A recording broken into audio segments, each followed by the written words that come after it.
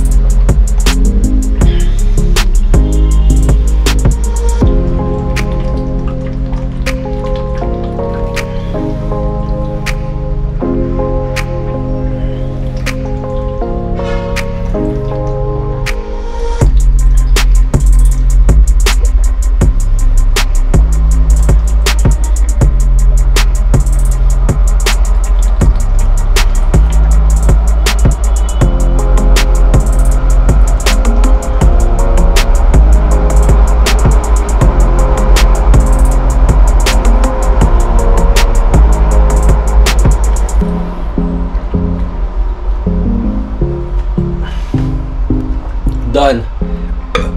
See you on day 40.